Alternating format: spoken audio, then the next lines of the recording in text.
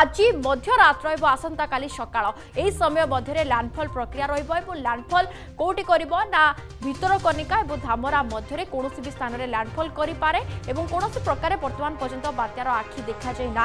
পবনর বেগ সেই ঘণ্টা প্রতি শহে রু শহে কোড়িয়ে কিলোমিটর ছুঁপারে এবং ল্যান্ডফল প্রক্রিয়া দীর্ঘ দুই ঘণ্টা ধর রহব এবং এর প্রভাবে চারি পাঁচটি জেলা বিশেষ করে ভদ্রক বালেশ্বর জগৎসিংহপুর কেন্দ্রাপড়া এবং ময়ূরভঞ্জ জেলা প্রভাবিত হয়ে পারে ধামরা নিয়ে চালুছু সেটার senior special correspondent Santosh Jena ଆମ ସହିତ ଯୋଡ଼ି ହେଉଛନ୍ତି ସନ୍ତୋଷ ଧାମରାର ଚିତ୍ର କ'ଣ? ସମୁଦ୍ରର ସ୍ଥିତି ବର୍ତ୍ତମାନ କ'ଣ ରହିଛି? ଗୋଟିଏ ପଟେ ଆମେ ଦେଖୁଥିଲୁ ଧାମରାରେ ନିଜେ ଜିଲ୍ଲାପାଳ ପହଞ୍ଚି ଲୋକଙ୍କୁ ଇଭାକୁଏଟ୍ କରୁଛନ୍ତି। ବର୍ତ୍ତମାନ ସମୁଦ୍ର ସ୍ଥିତି କ'ଣ? ଏବଂ ସକାଳୁ ପାଗ କେମିତି ଦେଖୁଛନ୍ତି?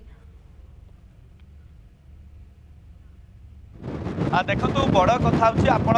ଦେଖୁଛନ୍ତି ବର୍ତ୍ତମାନ ସମୟରେ କିଭଳି ଭାବରେ ପବନର ବେଗ ରହିଛି। ଏଇଥିପାଇଁ ଯେ ଯେହେତୁ ବାତ୍ୟା ବର୍ତ୍ତମାନ ସମୟରେ ଭୀଷଣ ରୂପ ନେଇସାରିଛି ଏବଂ ସ୍ଥଳ ଭାଗକୁ ଧୀରେ ଧୀରେ ମାଡ଼ି ଆସୁଛି। କାହିଁକିନା ଆପଣ ଦେଖୁଛନ୍ତି ଯେ ଆଇଏମ୍ଡିର ଆକଳନ କହୁଛି ଯେ ପାଖାପାଖି ଆଉ ମାତ୍ର ଦୁଇଶହ ଷାଠିଏ କିଲୋମିଟର ଦୂରରେ ବାତ୍ୟା ଦାନା ରହିଛି ଏବଂ ସବୁଠୁ ଗୁରୁତ୍ୱପୂର୍ଣ୍ଣ କଥା ହେଉଛି ଯଦିଓ ଘଣ୍ଟା ପ୍ରତି ପନ୍ଦର କିଲୋମିଟର ଦୂରରେ ବାତ୍ୟା ଦାନା ସ୍ଥଳଭାଗ ଆଡ଼କୁ ଆଗଉଛି ନିହାତି ଭାବରେ ଏ ଆକଳନ କରାହେଉଛି। ଯେତେବେଳେ ବାତ୍ୟା ଦାନା ସ୍ଥଳଭାଗଠୁ ଅର୍ଥାତ୍ ଯେଉଁ ଜାଗାରେ ଲ୍ୟାଣ୍ଡଫଲ୍ କରିବ ସେ ଜାଗାରେ ପଚାଶରୁ ଷାଠିଏ କିଲୋମିଟର ଦୂରରେ ଥିବ। ବିଶେଷ କରି ସେ ଜାଗାରେ ସେ ସମୟରେ ନିହାତି ଭାବରେ ଭୀଷଣ ତାଣ୍ଡବ ରଚିବ ବୋଲି ଆଶଙ୍କା କରାଯାଉଛି। କିନ୍ତୁ ବର୍ତ୍ତମାନ ସମୟରେ ଆମେ ଆପଣଙ୍କୁ ଧାମରାର ଚିତ୍ର ଦେଖାଉଛୁ ଯେ କିଭଳି ଭାବରେ ଆପଣ ଦେଖନ୍ତୁ ବର୍ତ୍ତମାନ ସମୟରେ ପବନର ବେଗ ଧୀରେ ଧୀରେ ବଢ଼ୁଛି। କାହିଁକିନା ପ୍ରବଳ ମାତ୍ରାରେ ପବନ ଆରମ୍ଭ ହୋଇଗଲାଣି ଏବଂ କିଛି ସମୟ ପୂର୍ବରୁ ବର୍ଷା ମଧ୍ୟ ଜୋରସୋରରେ ହେଉଥିଲା ତୁହାକୁ ତୁହା ବର୍ଷା ଏବଂ ଦଲକା ଦଲକା ପବନ ଲୋକଙ୍କ ମନ ଭିତରେ ଛାନିଆ ଆଣୁଛି ଏବଂ ସମୁଦ୍ରର ସ୍ଥିତି ଆପଣ ଦେଖୁଛନ୍ତି। କିଭଳି ଭାବରେ ଅଶାନ୍ତ ହୋଇଛି ସମୁଦ୍ର କାହିଁକିନା ଆପଣଙ୍କୁ ଗତକାଲିଠୁ ଆମେ ଯାହା ଦେଖାଉଥିଲୁ ଯେ ମାତ୍ର ଜନବସତିଠୁ କୋଡ଼ିଏରୁ ତିରିଶ ମିଟର ଦୂରତାରେ ସମୁଦ୍ର ଆସି ପହଞ୍ଚିଛି ଏବଂ ଯେଉଁ ଇଭାକୁଏଟ୍ କଥା ଆପଣ କହୁଛନ୍ତି ତା ନେଇକି ବର୍ତ୍ତମାନ ସମୟରେ ଆପଣ ଜାଣିଛନ୍ତି ରାଜ୍ୟ ସରକାରଙ୍କ ତରଫରୁ যে মন্ত্রী দায়িত্বে অনেক উচ্চশিক্ষা মন্ত্রী এবং ক্রীড়া মন্ত্রী সূর্যবংশী সুরজ এবং নিজে জেলাপাল বর্তমান সময় ধামরা অঞ্চলের অনেক যেহেতু পাপাগ বিভাগ আকলন করুচি বর্তমান যে ধামরাঠু ভিতরকনিকা ভিতরে কৌশি এক স্থানের ল্যান্ডফল করবার বর্তমান সময় খবর রয়েছে এবং বিশেষ করে ল্যান্ডফল সময় যেভাবে ভাবে ইয়ে ঘূর্ণি বাত্যা ଲୋକଙ୍କୁ କ୍ଷତି ପହଞ୍ଚାଇବ ବା ଧନଜୀବନକୁ କ୍ଷତି ପହଞ୍ଚାଇବ ତାହା କିଭଳି ଭାବରେ ରୋକାଯାଇପାରିବ ଏ ନେଇକି ଜିଲ୍ଲା ପ୍ରଶାସନ ବର୍ତ୍ତମାନ ସମୟରେ ପୁରା ପ୍ରଚେଷ୍ଟା କରୁଛନ୍ତି ଏବଂ ଲୋକଙ୍କୁ ପୋଲିସ ଲଗେଇକି ବର୍ତ୍ତମାନ ସମୟରେ ସମସ୍ତଙ୍କୁ ଧୀରେ ଧୀରେ ଇଭାକୁଏଟ୍ କରାଯାଉଛି ଏବଂ ଏବେ ଆପଣ ଦେଖୁଛନ୍ତି ଇଏ ହେଉଛି ଚନ୍ଦିନପାଳ ଦୋସିଙ୍ଗା ଅଞ୍ଚଳର ସମୁଦ୍ର କୂଳର ଚିତ୍ର ଏବଂ ଏଇଠୁ ମାତ୍ର କିଛି ଦୂରରେ ଆଦାନୀ ପୋର୍ଟ ରହିଛି ଏବଂ ଏଇଠୁ ମାତ୍ର କିଛି ଦୂରରେ ମତ୍ସ୍ୟ ବିଭାଗର ଯେଉଁ ଜେଟି ରହିଛି ଏବଂ ଏ ମଝାମଝି ଅଞ୍ଚଳରେ ପାଖାପାଖି ପାଞ୍ଚରୁ ଛଅ ହଜାର ସଂଖ୍ୟାରେ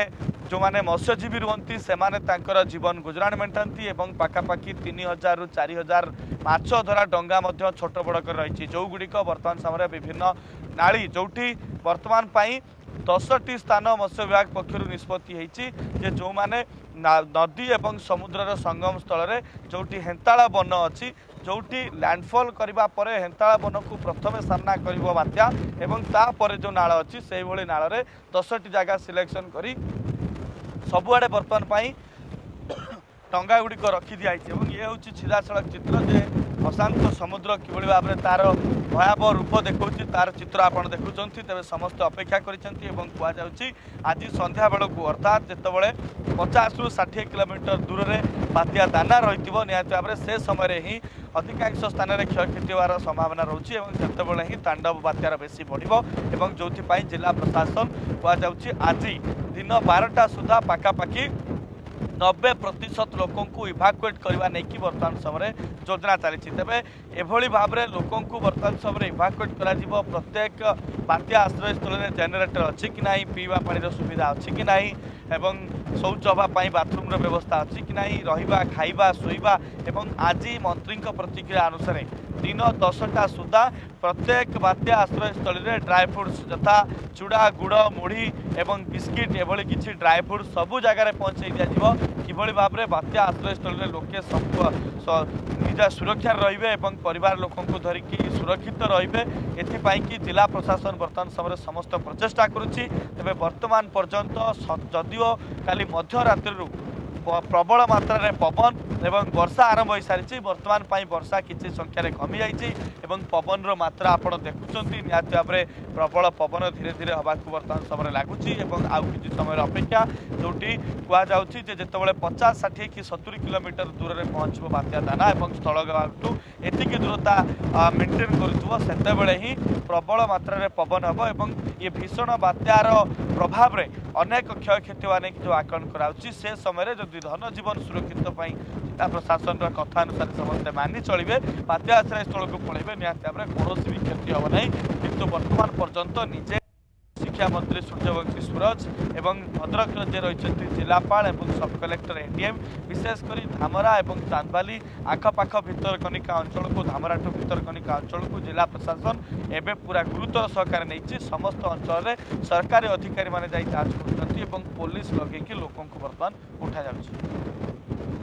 ନିହାତି ଭାବରେ ଲୋକଙ୍କୁ ସ୍ଥାନାନ୍ତର କରାଯାଉଛି ଏବଂ ଦଶଟା ଏଗାରଟା କିମ୍ବା ବାରଟା ସୁଦ୍ଧା ନବେ ପ୍ରତିଶତ ଲୋକଙ୍କୁ କେମିତି ସ୍ଥାନାନ୍ତର କରାଯିବ ସେ ନେଇ ମଧ୍ୟ ନିଜ ଜିଲ୍ଲାପାଳ ଗ୍ରାଉଣ୍ଡରେ ରହିଛନ୍ତି ଏବଂ ମନ୍ତ୍ରୀ ସୂର୍ଯ୍ୟବଂଶୀ ସୁରଜ ଶିକ୍ଷା ମନ୍ତ୍ରୀ ସେ ମଧ୍ୟ ପ୍ରଚେଷ୍ଟିତ ଏବଂ ସଚିବମାନେ ମଧ୍ୟ ରହିଛନ୍ତି ଗ୍ରାଉଣ୍ଡରେ। ସବୁଠୁ ଗୁରୁତ୍ୱପୂର୍ଣ୍ଣ କଥା ହେଉଛି ଯେ ଲୋକଙ୍କୁ ସୁରକ୍ଷିତ ସ୍ଥାନକୁ ସ୍ଥାନାନ୍ତର କରିବା କିଭଳି କୌଣସି ଜୀବନ ହାନି ନ ଘଟେ ଏବଂ ଯାହା ଆମେ ଦେଖୁ- ଦେଖୁଥିଲେ ଧାମରାରେ ମଧ୍ୟ ସମୁଦ୍ର ଅଶାନ୍ତ ରହିଛି। जदि आपंक आम भिडी भल लगा तेब आम चेल्क को लाइक सेयार और सब्सक्राइब करने को जमा भी भूलु नहीं।